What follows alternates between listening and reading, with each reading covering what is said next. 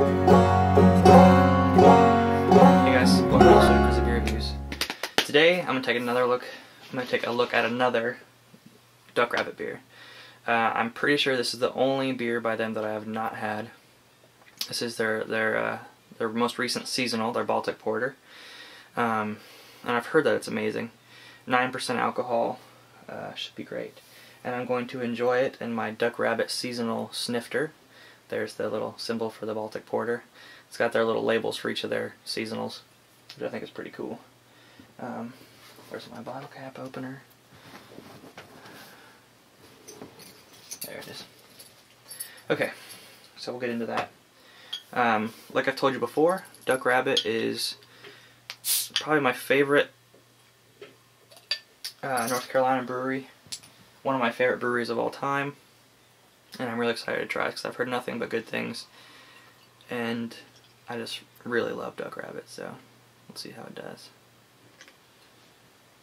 Okay, in Duck Rabbit fashion, there's not much of a head.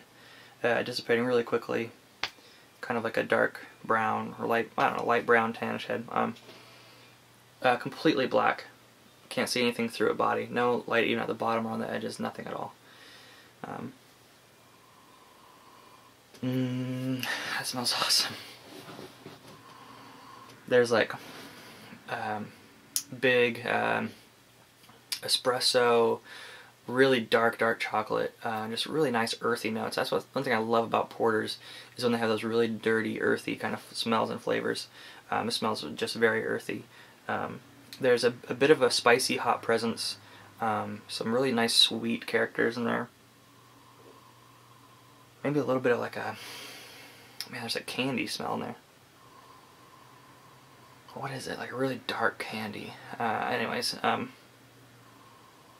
maybe some dark fruits, but there's really mostly like a, a, burnt brown sugar, molasses, maybe like a maybe a, like a licorice kind of smell too coming through. Not much though, maybe just faintly. But there's some really nice smoky flavor smells in there as well. Let's see how it tastes.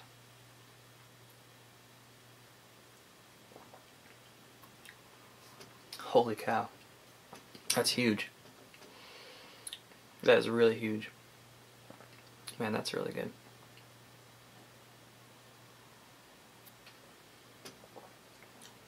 Okay. So, first taste you get smoky, really smoky, roasty, uh, campfire kind of flavors. Not like a not like a like a smoke beer, but but just like like something just got burnt in your mouth. It, um, like burnt coffee, burnt sugar, uh, smokiness. Um, really, really good. Uh, there's some really nice roasty dark malts in there. Some, some uh, like uh, some really bitter dark chocolate, uh, bitter burnt coffee. Um, some woody flavors, maybe some like tobacco and leather kind of flavors. Um, there's not too much hoppiness in there, maybe just a slight amount, but not too much. If there is, it's kind of just a kind of just a, a, a bitter, spicy hop. Not not too much of anything else besides that. Um, but man, that is really, really good. Just that is just really awesome.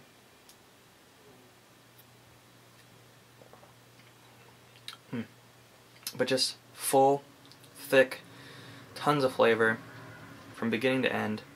Um, leaves a nice mouth feel, a nice, uh, a nice aftertaste in your mouth. It's just all around really, really good. Um, and I and I just you know I'm not surprised. Duck Rabbit really just nails nails pretty much every beer they try, and this is really really delicious. There's a, there's a lot of really nice coffee flavors in there for sure. Like, yeah, that's really good.